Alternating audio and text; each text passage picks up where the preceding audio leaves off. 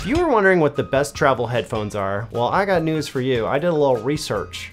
We've got the Bose QC45s next to the, come on, next to the Marshall Monitor 2's active noise cancellation. Come along with me and we'll go on an airplane and check out which ones I think are actually better and which one's a better buy for you. So, let's go! Yeah. Ah, airports. Everyone loves them, am I right? Babies screaming, constant announcements, and the sound of jets all over. Well, luckily, we don't have to deal with that because we brought our noise canceling headphones. So I decided to check out the arguably more fancy and fashionable Marshall Monitor 2 ANC headphones up against the slightly more pedestrian, suburban, and plain looking Bose QC45s. These two headphones are really similar, and one of the biggest traits they both have is they fold up compactly. Com is that a word? Compact? Compactly?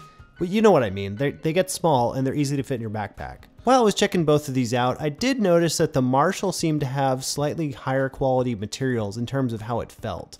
The nice metal yoke was a really nice touch, and overall the pleather feels very supple and nice. Now while you get over to the Bose materials, it feels a lot more plasticky, and that's probably my biggest beef with it.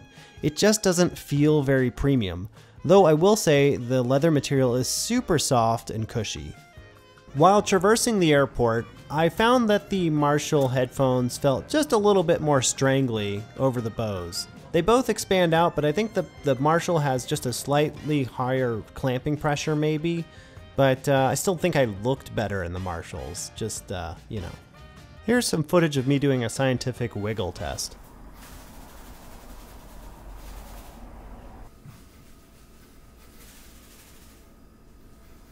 both get an A plus rating. And now, of course, the most important part about these headphones, besides the fact that they fold up kind of small, is the noise cancellation.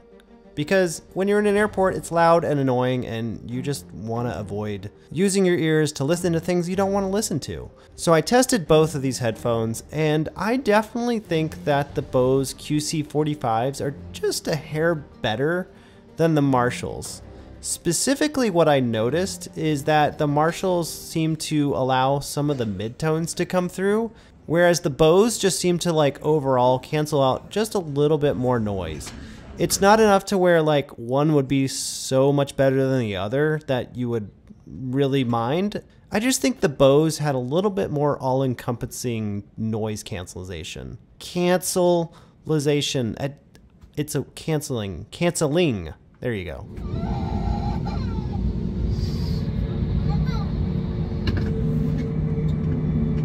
I will say, while both do a valiant effort, nothing can cancel out the screams of a baby. It's just it just pierces right through your headphones no matter what. I, it's like a safety feature for babies, so you can't ignore them.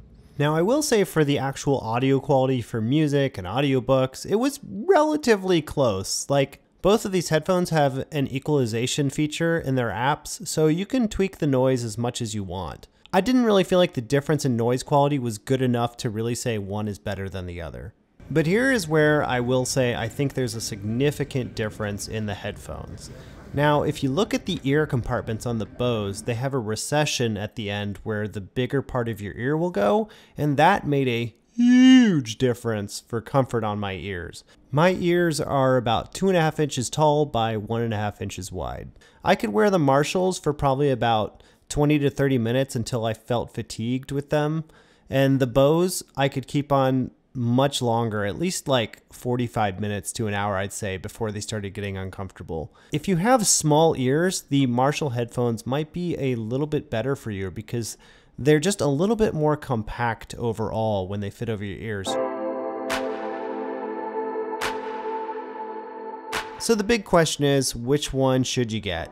Well, I think for me, I'm going to say I actually favor the Bose QC45s just a little bit more because of the noise canceling they have is just a little bit more robust and I find them so much more comfortable to wear over a long period of time. And for travel, those are pretty big ticket items. Now, don't get me wrong, the Marshalls aren't bad by any means. They're really well made, and I absolutely loved grabbing them out of my backpack and putting them on because I thought they were so cool. But I think, as with any decision for a luxury item like this, whatever you're to get, it should make you happy when you pick it up and use it. It should bring some joy because both of these things, pretty much at the end of the day, do the same thing and they're not significantly better than each other. So make the decision that makes you happy. That's what I'd say. Anyways, hope this was helpful. Thanks for watching. Bye.